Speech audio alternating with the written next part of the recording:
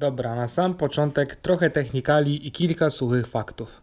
BMW F650 jest to motocykl typu enduro, ale czasem nazywany jako Fanduro, produkowany przez BMW od 1993 do 2000 roku. Po 2000 roku weszła wersja F650 GS.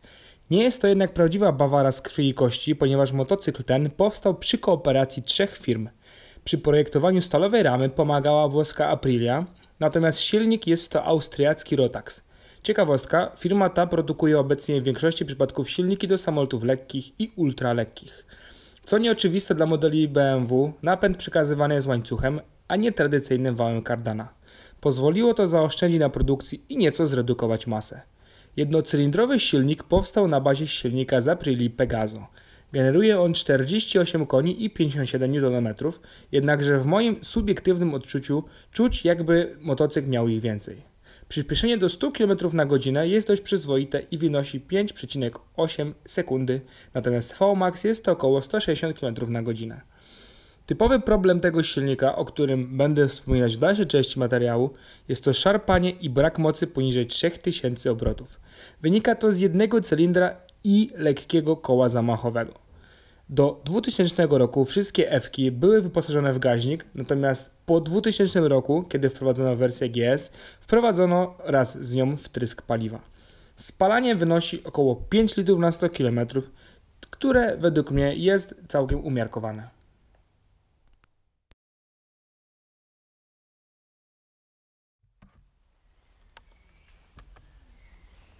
No i dobra, mamy tu trochę fajnego terenu. Nie wiem jak to będzie widać na GoPro, jak nie będzie słychać. Jest mocno pod górkę, więc myślę, że będzie fajny test na sprawdzanie, jak sobie to radzi właśnie pod takie góreczki. No to lecimy.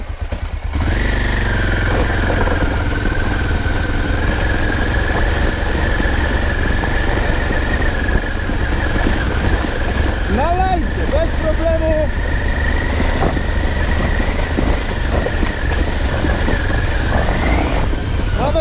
Zrywam.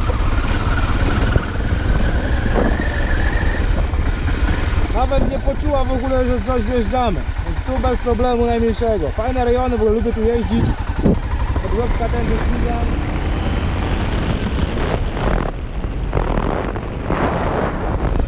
Jedziemy sobie w prawo. O, elegancko.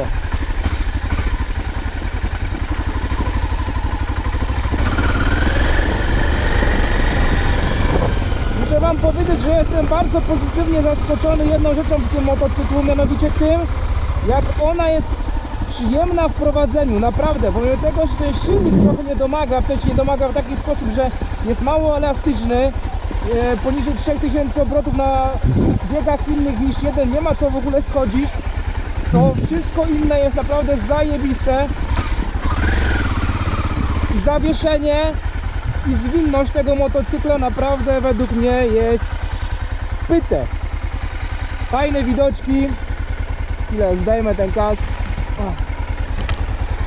Zgaszę ją.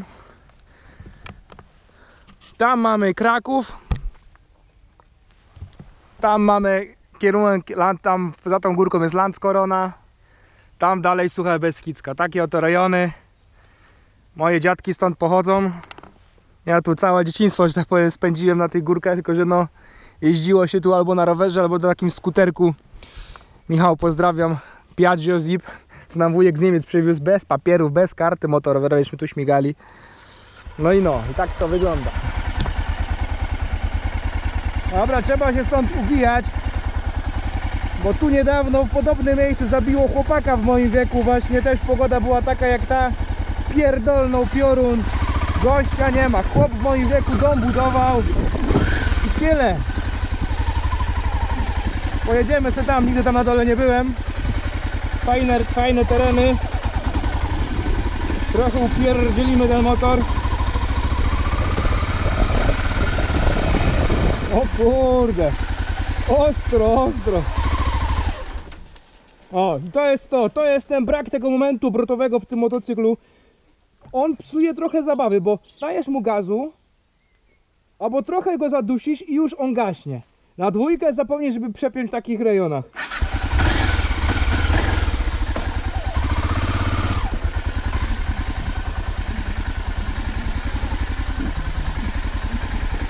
O ty kurwa!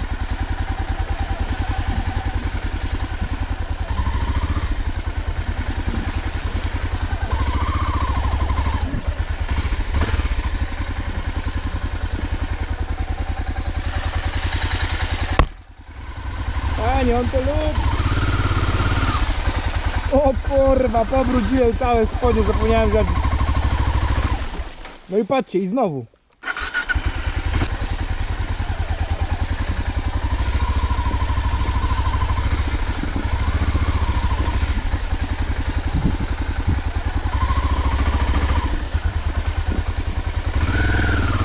Nie wiem, czy tam dalej pchać. No Jestem ciekaw, gdzie wyjedziemy.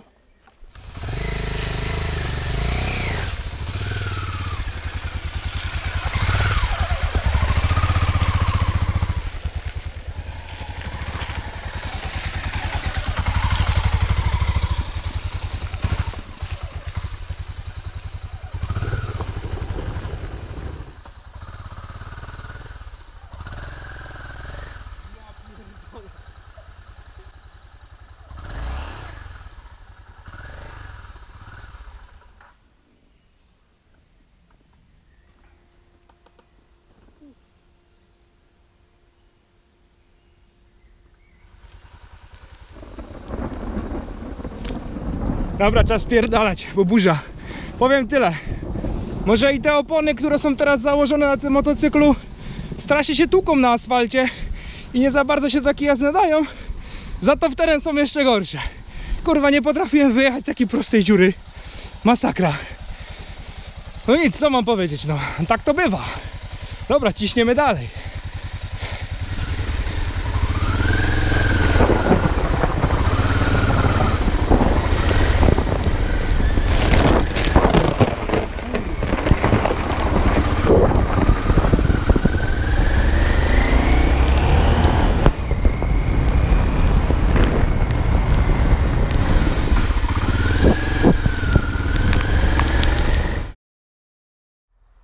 No więc tak, suche fakty już znacie, technikalia już znacie. I teraz pora na moje całkowicie subiektywne odczucia związane z tym motocyklem. Jak już wspomniałem, prowadzi się go naprawdę bardzo przyjemnie. Myślę, że nawet świeżo, że tak powiem, początkujący motocykliści, którzy będą świeżo po zdaniu kategorii A, jak najbardziej sobie poradzą z tym motocyklem. Jeśli chodzi o prowadzenie, prowadzi się on pewnie, prowadzi się on lekko. Eee, środek ciężkości w tym motocyklu jest bardzo fajnie, że tak powiem, zrównoważony. I tu, na tym, że tak powiem, poziomie, nie mam się do czego w tym motocyklu przyczepić. Chwila. Kurczę, trochę larmo jest, bo tu przy drodze blisko. O, tam. Eee, co dalej? Opony. On ma teraz założone Bridgestone Bad Lux. Taka właśnie dosyć kosteczka. Muszę przyznać szczerze, że na asfalcie zachowują się pewnie. Zarówno samemu jadąc, jak i w dwie osoby. Bo jeździłem i z siorą, i z żonką. Fajnie się ten, fajnie się zachowują, tłuką się. Słychać bardzo, słychać ten profil tą kostkę, tłuką się to prawda. Nie jest jakieś turbo uciążliwe jednakże no jest to słyszalne. Natomiast w teren no nie bardzo. Wczoraj, wczoraj właśnie po tym błotku sobie pojeździłem. Jakiś tam żwir spoko, ale do błota te opony się nie nadają. Motor mi się ślizgał, nie potrafiłem wyjechać z takich prostych kolejn. Dałem radę oczywiście, ale no nie była to jakaś super przyjemność. I jeśli chodzi o teren, no to tutaj niestety ten motocykl wydaje mi się lekko zbyt ciężki do takiego chamskiego upalania po błotach, po lasach, po terenach. Jak najbardziej szosa na jakieś takie właśnie, właśnie na takie bardziej bezdroża, ale takie delikatne, aniżeli taplanie się w błocie, ponieważ no jest dosyć ciężki do manewrowania po tych właśnie, po, po błotach.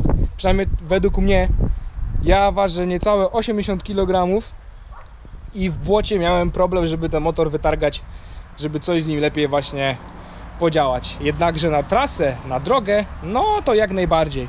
Dalsze traski myślę, że też jednak E, Pięciobiegowa skrzynia nie pozwoli za bardzo jechać powiedzmy z tymi prędkościami takimi 140, 160, ponieważ to będzie e, no już niefajne, obroty będą wysokie. 120 przelotówki jak najbardziej jest miło, przyjemnie, jednakże nie więcej. Dla początkującego motocyklisty uciążliwe i upierdliwe według mnie będzie to, że ta skrzynia jest taka no dziwaczna. Nie ma co schodzić poniżej 3000 obrotów na innych biegach niż jeden, no bo motor, motocykl szarpie, motocykl, e, no przez to, że to jest pojedynczy tłok, no jest ta praca silnika naprawdę dosyć specyficzna. Jednakże bardzo podoba mi się fakt, w jaki sposób ten motocykl, ten silnik oddaje swój moment obrotowy, ponieważ jak już się wkręcimy do tych, po tych powyżej tych 3,5 tysiąca obrotów, no to tu się dzieje. Tu się dzieje naprawdę. Zresztą suche fakty w postaci 5,5 e, sekund do setki, no to to robi wrażenie. To robi wrażenie i czuć, czuć, że ten motocykl ma moc, czuć, że ten motocykl chce jechać i naprawdę tu duży plus dla niego. Jeżeli byśmy zamontowali do niego opony takie bardziej drogowe, no to to już w ogóle idzie sobie fajnie poszaleć, idzie sobie fajnie pośmigać i po mieście, i po właśnie jakichś takich właśnie autostradkach, drogach krajowych, to jak najbardziej, tu wystarcza. Duży plus według mnie za kanapę, jest bardzo wygodna. Zrobiłem 120 km na strzała, to nie jest, to jest nic, bo ludzie robią po parę tysięcy, ale no ja mam taki problem, że mnie dupa boli po dłuższej jeździe na motocyklach. Tu akurat było wszystko fajnie, wygodnie. E, Jak jechałem z pasażerem, tak samo nie narzekali, że jest niewygodnie. E, Jedynie co to mówili, żeby kufer trochę do tyłu odsunąć bardziej byłaby opcja, bo, bo plecy są trochę za bardzo wyprostowane, a tak jeżeli byłoby bardziej z tyłu, można by się na nim oprzeć, tu jeszcze jakąś piankę zamontować, to już w ogóle byłoby super.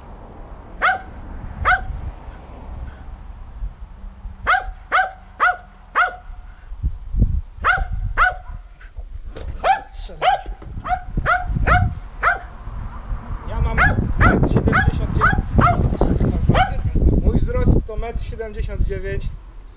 Jak widać na mnie jest on odpowiedni. Wyższym osobom może przeszkadzać fakt, że szybka jest troszkę niska faktycznie i wieje jednak podczas jazdy. Natomiast na mój wzrost i osobom nieco niższym jak najbardziej będzie ten motocykl odpowiedni. Nogami jak najbardziej idzie sobie fajnie dosięgnąć do podłoża. Jest to naprawdę na plus. Pozycja na tym motocyklu jest naprawdę na plus, ponieważ jedzie się nim wygodnie, jedzie się nim pewnie, jedzie się nim przyjemnie. W przyszłym roku na pewno będę szukać jakiegoś takiego motocykla dla siebie kolejnego. Jednak na pewno przyznam szczerze, że nie będzie to ta BMK. Nie będzie to ten motocykl. Tego trzeba będzie sprzedać, bo mi osobiście nie odpowiada właśnie ten dziwny sposób oddawania momentu obrotowego i ten dziwny sposób działania skrzyni biegów. Coś będę raczej szedł bardziej coś pokroju TDM 850 lub coś tego pokroju, ponieważ według moich subiektywnych odczuć mi się na tym nie jedzie zbyt przyjemnie. Jedzie się tym motorem samym w sobie bardzo przyjemnie, natomiast sposób działania tej skrzyni biegów i sposób działania tego silnika mi osobiście on nie Słuchajcie, odpowiada. reasumując, w tej cenie, za jaką był ten motocykl, a te BMeczki chodzą od 6-7 tysięcy wzwyż, ten konkretny egzemplarz kosztował poniżej dziewiątki. Myślę, że jest to dobry sprzęt, jest to fajny sprzęt na rozpoczęcie jakiejś tam przygody z takimi enduro, fanduro. E, nie tylko dla początkujących, także dla tych, którzy już jeżdżą, jeżdżą wiele lat na motocyklach, tak samo jak ja. Ja już mam kategorię prawa jazdy na motocykl ponad 10 lat, więc ja już też się trochę już najeździłem. E, natomiast wiadomo, no, ma, mamy jeszcze dużo nauki przed nami, jeśli chodzi o, o śmiganie na moplikach. Natomiast e, mi osobiście ten motocykl nie odpowiada z tego powodu, że ta skrzynia biegów jest bardzo dziwna, ten moment, ten moment obrotowy jest bardzo dziwny. I ja osobiście drugi raz bym tego motocykla nie kupił. Natomiast to trzeba się samemu przekonać, żeby, żeby po prostu mieć własne zdanie, czy nam to będzie odpowiadać, czy nie. Natomiast jeśli chodzi o prowadzenie, o sposób jazdy na tym motocyklu, pozycję, wygodę, jak najbardziej mogę go polecić. Jak najbardziej mogę go polecić, jest to fajny, przyjemny, lekki w prowadzeniu motocykl. Jednakże z naciskiem na to trzeba pamiętać, że to nie jest cross. Tym się lepiej nie ładować wielkie błota, bo tak jak ja sobie można ponaciągać plecy, próbując to wyciągnąć z bagna, z błota. Tym bardziej mając takie, a nie inne oponki, aczkolwiek to, no to, to jest kostka, no ale, no ale no mówię, było, było ciężko. Natomiast y, nie polecam i nie odmawiam, trzeba się samemu przekonać, czy nam pasuje taki sposób jazdy, taki motocykl. Więc w tym odcinku to by było już na tyle. Mam nadzieję, że Wam się podobało, a jeżeli nie, to trudno. No i do zobaczenia w kolejnych filmikach. Strzałeczka, cześć!